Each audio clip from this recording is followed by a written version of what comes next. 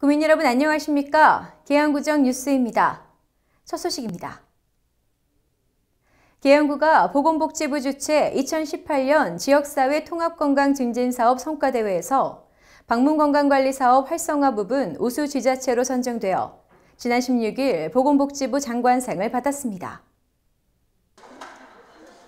그동안 찾아가는 방문건강관리 사업은 취약계층의 건강 문제를 포괄적이고 적극적으로 파악하여 대상자 중심의 맞춤형 건강관리 서비스 제공 및 보건소 내외 자원 연계를 통해 대상자의 건강 상태 유지 및 자가건강 관리 능력 향상을 위해 노력해왔습니다. 지역 유관기관과의 협력체계 구축을 통한 보건복지 연계 및 취약계층의 건강 형평성을 제고하고 방문건강관리사업 활성화에 기여한 것으로 평가를 받았습니다. 보건소 관계자는 찾아가는 방문건강관리 사업이 보건복지 연계 협업 사업의 좋은 사례가 되어 취약계층 건강관리를 위한 총체적 보건의료 분야 사회 안정망 구축의 모범 사례가 될 수 있도록 대상자들과 소통하며 보건복지 통합 서비스를 체계적으로 제공하겠다고 전했습니다.